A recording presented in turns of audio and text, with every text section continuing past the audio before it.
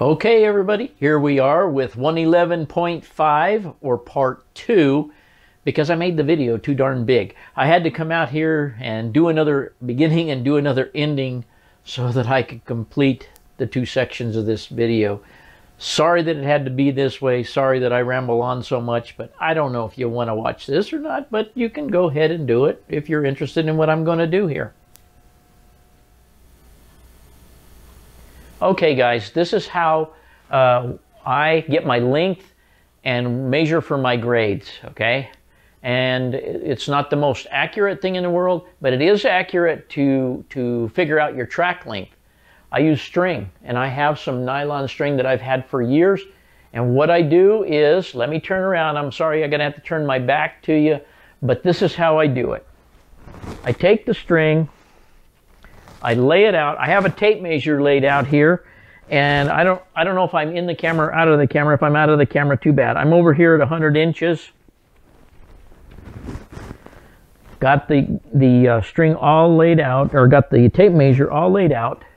I'm going back. I need a pair of scissors.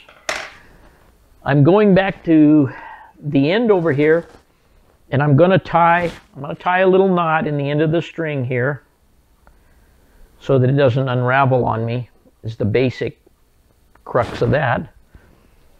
And we're going to start the knot on the end is going to start at, at zero and we're going to go to 25 inches which is right here where my hand is.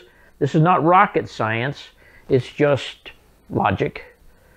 Um, and I'm going to tie a knot at 25 inches. Okay?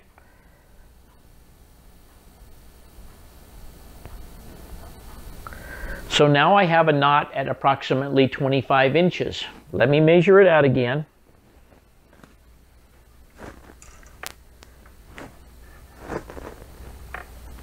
Ah, the knot turned out a little less than 25 inches, so I can rectify that if I don't pull it too hard. I'm off by about a quarter of an inch, which is not important. But if we're going to make this string one time, we might as well make it right, correct? So I rolled the knot over. Now let's see what we got. I'm at exactly 25 inches from that knot to that knot. Okay? So now we're going to take that knot and we're going to go, we could do this at 25 inch increments, but I'm going to go to 50 and we're going to tie a knot at 50. Okay? So let me hold it at 50. Let me bring my string around and make a knot at 50. I'm going to tie it looser this time, more loose. Now between the first knot and the second knot, we should have another 25 inches. So we're going to go from 25 to 50, and I'm still a little off. So we're going to flip this knot over. Like I say, it's not rocket science, but we, you know, if we're making this tool, we might as well just make it once. So we're flipping that knot.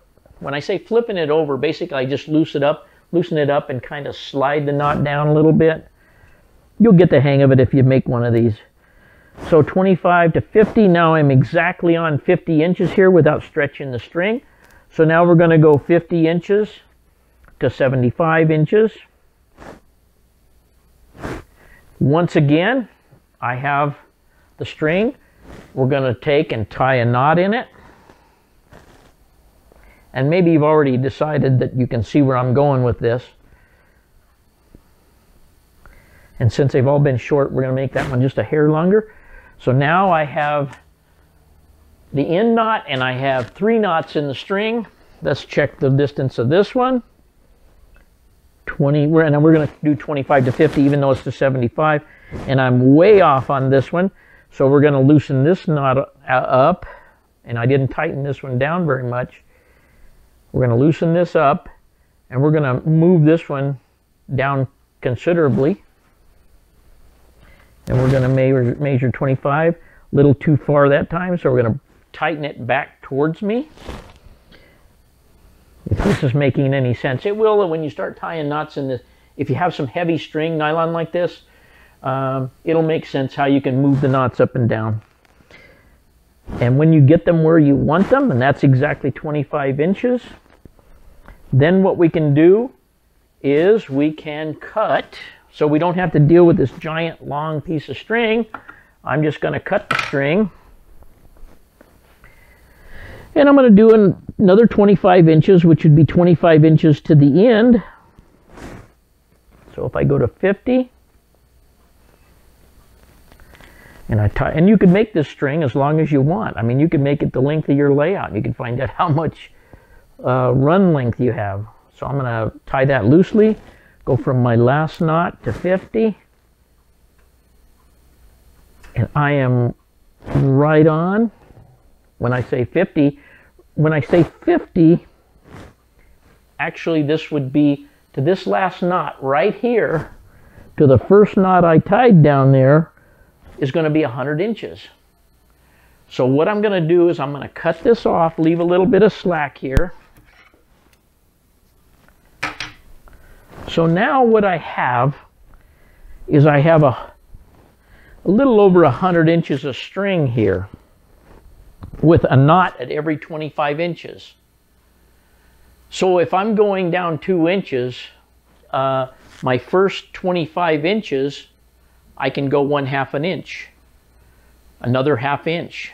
So by the time I get to 50, I should be down an inch. By the time I get to 75, inch and a half. By the time I get to 100, two inches. So if I lay this out on the layout, and we're going to take it out here and we are going to lay it on some track and show you how it works. But this is my tool. This is my measuring tool for how far I need to be down when I start laying the track, how far down that track needs to be to get a 2% grade. And if it was three inches, it would be a, a three quarters of an inch every 25 inches. And you'd be at three inches by the time you got to 100, I believe. But um, I'm not good with math, and in my head especially. So let's go back in and test this thing out. Okay, so I know you, in this video, you're going to look at a lot of the back of me, probably. But if I want to know where I need to be or how much grade I need to decrease, uh, and I have this string, I can put the string where either on the track that I have now, and I can just lay it. This is not, like I say, it's not rocket science. We're just laying the string either on the road bed, if we had just road bed here, or in this case, on the track. And every time I get to a knot, I can hold the string, or I can hold the string at any point and just generally lay it out.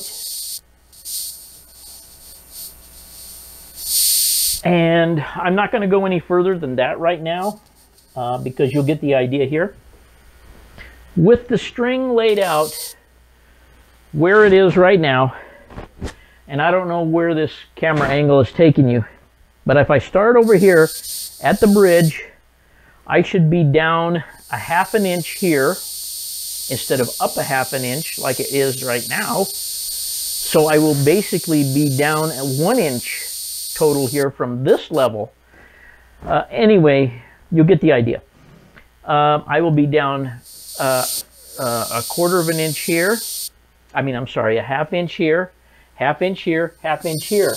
And I don't, I'm probably out of the camera over here, but I'm right at the cattle pen at Schmelly Meats. So that would take me down uh, an inch and a half. So if I stretch that string out, I should be down to two inches by the time I get over there by the um, double crossover, if that makes sense. If I stretch out another 20, 25 inches, that's going to take me just under the cross, or right in the middle of the crossover, double crossover. So from the bridge to over there, I can go down two inches. And that would be a 2% grade. If I need to go down further than that, I will.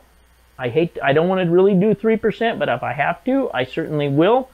But you, you get the idea here my string laid out on the layout, if I follow that, that method there, um, it will get me where I need to go.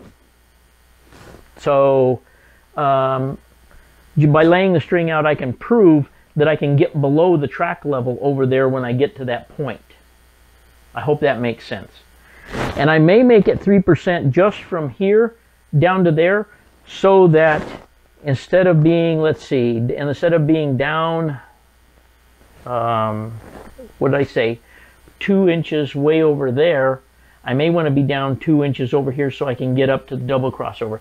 I don't know. I'm going to make that work. We're going to cross over or go under wherever we can and come up. It may be underneath the layout. It may go under and then get in between the two tracks here and come up to the double crossover. I'm not sure how it's going to work out, but wherever the levels work out here to get over or under, the, the two tracks over and under each other, that's where it will take place. Okay? And, uh, if there needs to be a slight incline for a short distance, that's the way it will be.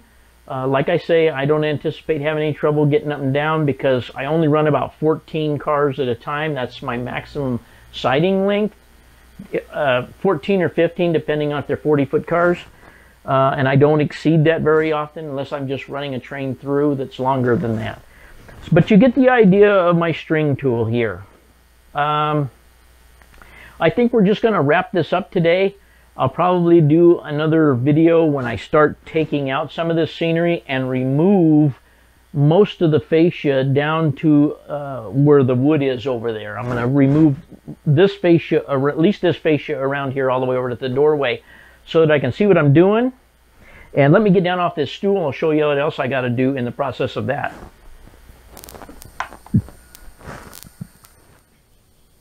Okay, we're not going to be able to see a whole lot under here right now just because there's not a lot of light out here.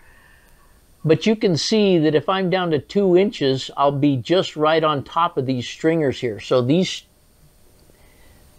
uh, let's see here. That stringer there, the track will be almost on, if not on that stringer by the time I get here.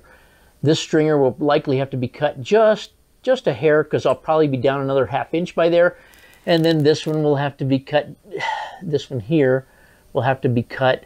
This one here will really have to be cut, and so on until I drop down, going way back there. And of course, the uh, the um, the front of the cloth there is in the way, you know, for us to see what's going on there. But uh, but anyway, all that cloth is going to come off. All this fascia is going to come off. These the uh, push button switches will have to be disconnected or removed from the fascia period. And uh, the other thing I face is I'm going to have to take all of these cabinets out of here. And Gavin has some over here on this side back here. And they're all going to have to go either down there or outside the layout, maybe all the way out to the shed temporarily until I get this work done. Uh, let me swing around here. I'm on my knees, so bear with me. I'm not very good on my knees. Um, you can see, maybe you can, maybe you can't, but on that uh, L girder back there, periodically there are some holes. If you look, well, actually, right there in the center of the picture, there's uh, some paint drippings that come down. You can see two holes there. Those two holes, I had another piece of wood tied to the uh, wall there, and there was a shelf bracket mounted to that on the on the previous layout that took me down to my staging yard underneath. I'm just basically going to replicate that, and I still have the brackets. So all that will require is a piece of wood all the way down to the corner um, to get the track on a downhill slope down to the to the shelf down here. Anyway, I feel like I'm kind of rambling on them. You guys are probably tired of it by now. But um, that's pretty much what's going on for now, and I'll update you as stuff progresses. Once again, I appreciate you watching and putting up with two-part video. I don't hardly ever do a two-part video, but I just thought this might warrant it. And as usual, thanks for watching again.